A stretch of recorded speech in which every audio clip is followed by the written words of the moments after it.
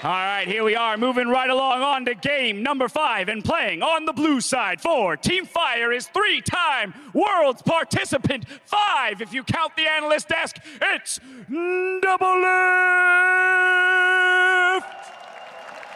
I like it. En la otra esquina, representando un jugador de China, un jugador con complejo de GODV.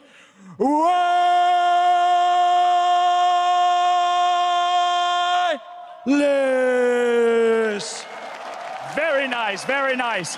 Que comience la batalla! Back to the caster desk, Krepo. Another 1v1. I think actually it's been going uh, pretty fast Yeah. so far. There've been so many uh, games here ending way before the 100 CS mark. This one is actually the one I look forward to the most. Yeah. Because it is Doublelift, Tell me why. made it to the final last time.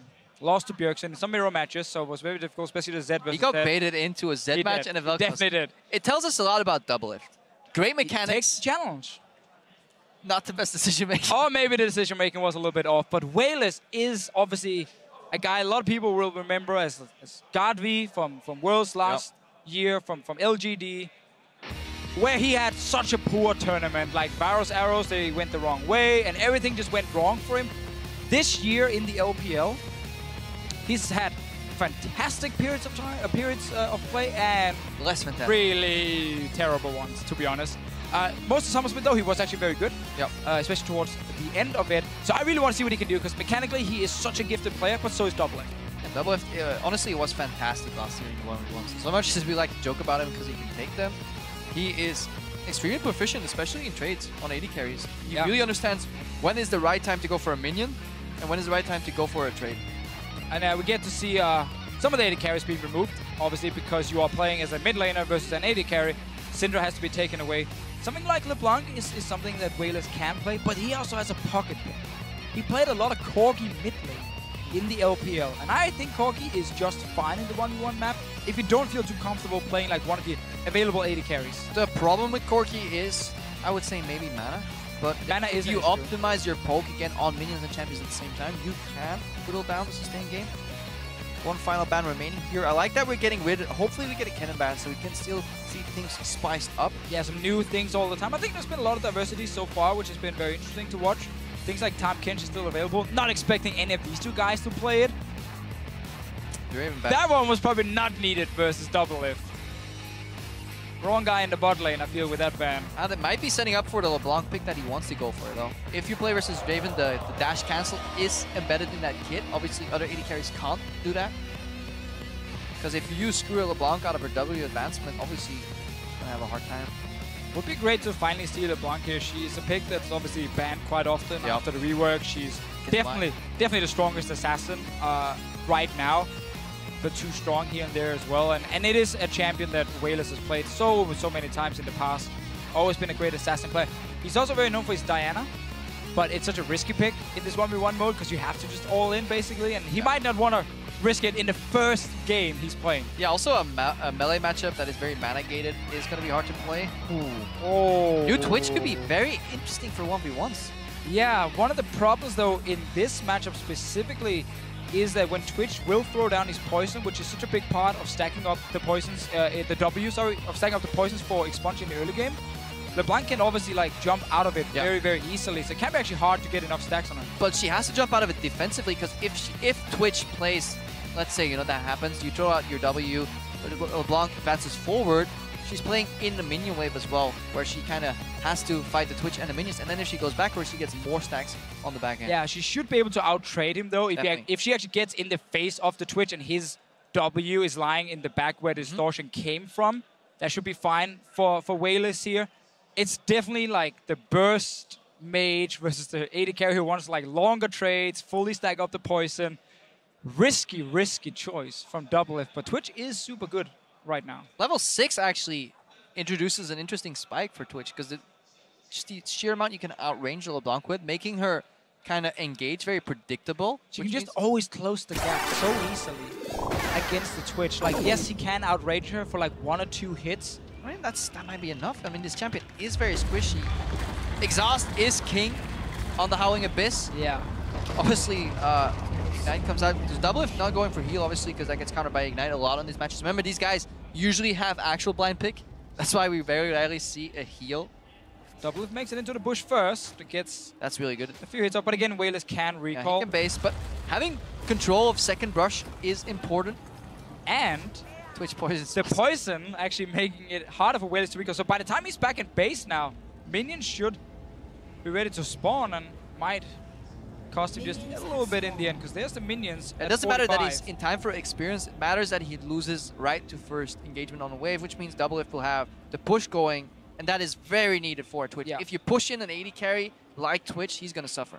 And one of the big things, especially uh, when one guy is slightly behind on how fast they make it to the middle, is if you can make it into the second brush, like the enemy's brush, it's so easy for you to like weave in and get like again that green fire gives extra auto attack on them, making it much harder for them. Chain first from We1less does deal a lot of damage if you get the second proc. It works if you're behind, because you know this, this AD carry is going to kind of start walk up on you. Like right there, but Doublelift still had to push. Notice how he did. Once he's one minion ahead, he knows he can actually go for little trades in between as well. That's strong from Doublelift. Yeah, what Doublelift also can do in this matchup, uh, now that it's against an AP champion, is go Hexstring. Of course. which is so huge with Hexdrinker, Barrier, Exhaust. Like, there's so many defensive tools against like a lot of burst from another champion, making it much easier for him to win trades. But that's obviously in 1300, 1400 gold. Yeah, we're also about to witness the, the main weakness of a LeBlanc pick is CSing on a turret. Really hard to do so if you're not having access to continuous mana pool. Yeah, we talked about how the tower works with the caster minions. With the melee minions, it's actually even more annoying because the tower will deal about 50% damage on the melee minion. So if you don't hit it at all, the tower will just take it down on the second shot, and there's nothing you can do against it. We1less went for a W that lasted a minion at the same time and hit Doublelift, but his E missed, which gives Doublelift the preferential trade. He needs to keep this wave position like this, though. He's waiting for the minion, to, the relic to spawn. He gets it. These guys obviously have practiced a metric ton of games, so they know exactly when this relic comes out. Yeah, LeBlanc will keep missing uh, CS on the tower 100%. And also allowing Doublet to throw the poison down exactly where he did it here. So We1less has to decide between standing in the poison and getting the last hit. But Doublelift just took a All power in. shot there. That's the problem. This poison will continuously give you tower aggro the second you step forward, because Doublelift was setting up to punish We1less when he went for a CS, but the tower triggered a lot earlier than he expected. And this was huge because Doublet instantly used Exhaust. We1less kept his. He went for like a bait all in, where he goes for the summer spell, for summoner spell, jumps instantly back, and now because he has distortion, he can close the gap again Ooh. with Exhaust. He can go for a fake base into Q, oh, he tried to because the chain is down. If he Use the sweeper. There we go. Damn, I got so into that. Don't yell that loud, man. Ah! We can hear. They're like really close. Got the spot. That's why you go with sweeper. You actually can't go any ward trinkets anyway, because they wouldn't make any sense on this map here. And We1less again, he wants to jump in with distortion, exhaust onto Doublelift, and try and all in him in that potential trade. But there is still barrier for the Twitch. Oh, this That is going to be a big that Second, the W misses here. The momentum shifts to Doublelift. The lane is neutral right here. Doublelift has access to the creeps earlier. Look, yeah, he's just going to use that W for wave clear. Uh, double Doublelift taking control again of the matchup. Definitely, but We1less constantly moving forward. It seems like he just wants a bit of poke damage. Now Doublelift will have to be so careful because We1less can actually engage and take him down. I like how We1less is just playing like the poke game. It looks like he's all inning every time, but he instantly jumps back. Yeah, Doublelift sitting on 1200 gold, going to base here. bought a Doran's Blade and then we're like, whoops, wrong item, sold it again. And of course it's going towards Hexdrinker. We1less might have to just push this out and go back because he doesn't want to be this many items down. But once level 6 first, most likely. Reset the wave as well, but look at how annoying it is for LeBlanc. She never wants to use spells on these minion waves. Yeah, and she's actually too far away from level 6 to get it before Doublet is back in this uh, lane. So he's not really losing out on anything, and he is going to get quite an advantage on CS. Yeah, it could actually just freeze here too to deny a couple of creeps. But again, this is not in the matchup where it goes to 100 CS. If this was a 100 CS matchup, a freeze would deny about four creeps by the time We1less is back. But it would put you on the risk of then having to CS on a tower. You would only freeze if you have an AoE champion that then can then immediately clear out the wave. And now if you guys look at the items, you see Doublelift had to spend all his gold on actual items and no sustain in here other than what he gets from the Doran's Blades here. Where We1less actually managed to get some sustain with the potion and that can be very important when he's jumping in and poking and then jumping back and trying to out-sustain a little bit. We are looking at a minor experience advantage for Doublelift, though. This may just end once he hits level 6, he is super close right now. You guys can't see it from the camera. Obviously blocking it. I really like that trade from We1less there. He jumps in with the W, so he applies his Sigil of Malice, the passive now. Oh, we actually see if they're going all in. Three chains. He can go for it. Just go for it, man. One more hit. Almost too easy in the end.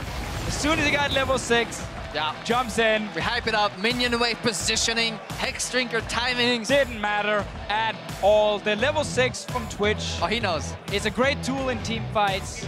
In the 1v1, it I did mean, make a big difference. It's a great tool in 1v1s if you actually outrange somebody. If you, like, mindlessly walk up to a brush, Of course, if you pick a champion that can't like gap close and there's no snowball or ghost or anything, yes.